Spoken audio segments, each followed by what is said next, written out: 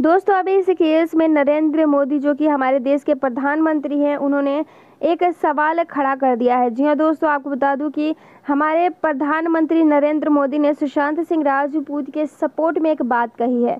उन्होंने जिस तरीके से देखा है सोशल मीडिया पर कि क्या कुछ हो रहा है, और 14 जून को जो कुछ भी हुआ दिल्ली में, इससे इस बात का तो अंदाज़ा लग चुका है कि ये एक ग्लोबल लड़ाई है और किस तरीके से 14 जून को सिर्फ़ दिल्ली में ही नहीं, बल्कि पूरे वर्ल्ड में सुशांत को याद किया गया और उनको श्रद्धांजलि दी गई। आपकी जानकारी के लिए बता दूँ कि नरेंद्र मोदी ने इस बात का ऐलान कर दिया है कि अब इस केस की इन्वेस्टिगेशन जो सीबीआई ऑफिसर्स कर रहे हैं, वो भारत सरकार के निगरानी में रहकर करेंगे। वहीं दूसरी तरफ़ महाराष्ट्र सरकार, जो कि शिवसेना पार्टी की है, उन लोगों ने अब एक मीटिंग में इस बात को साबित कर दिया है और इस बात को कहने में बिल्कुल भी संकोच नहीं किया कि इन लोगों को फंसाया जा रहा है।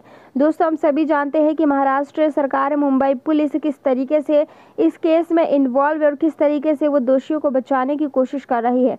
हम सभी जब तक इस केस को संभाले हुए हैं, इस केस की छानबीन कर रहे हैं, ये केस इतनी आसानी से बंद नहीं होगा। वहीं दूसरी तरफ़ देखा जाए तो सुशांत सिंह राजपूत केस में इन्वेस्टिगेट कर रहे दो सीबीआई ऑफिसर्स ने इस बात को क्लियर कर दिया है ट्विटर पर कि उन्होंने अब तक ऐसा नहीं कहा है कि सुशांत सिंह राजपूत का मर्डर हुआ था।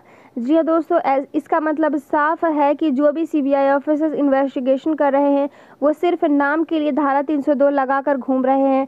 बाकी सारी इन्वेस्टिगेशन सुशांत सिंह राजपूत ने सुसाइड किया है, इस पर ही किया जा रहा है। दोस्तों, एक फ़ैन पेज की तरफ़ से सुप्रीम कोर्ट में याचिका दर्ज कराई गई है कि अब सुशांत सिंह राजपूत केस में जो इन्वेस्टिगेट कर रहे हैं सीबीआई ऑफिसर्स उन्हें चेंज किया जाए, क्योंकि 10 महीने का वक्त गुजर चुका है और अब तक इन्वेस्टिगेशन पूरी नहीं हुई है। दोस्तों, अब आने वाले दिनों में नरेंद्र मोदी इस केस को कितना सहयोग करते हैं, ये देखना काफ़ी दिलचस्प होगा। हालाँकि उनके ट्विटर अकाउंट से सुशांत सिंह राजपूत फैंस को धैर्य रखने की बात कही जा रही है। दोस्तों, सुशांत सिंह राजपूत के लिए इस वीडियो को लाइक करें।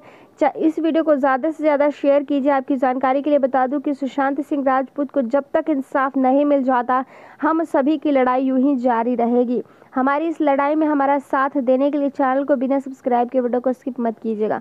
इस वीडियो के माध्यम से जो कुछ भी इन्फॉर्मेशन मैंने आपको दी है, वो हमें सोशल मीडिया के माध्यम से प्राप्त हुई है।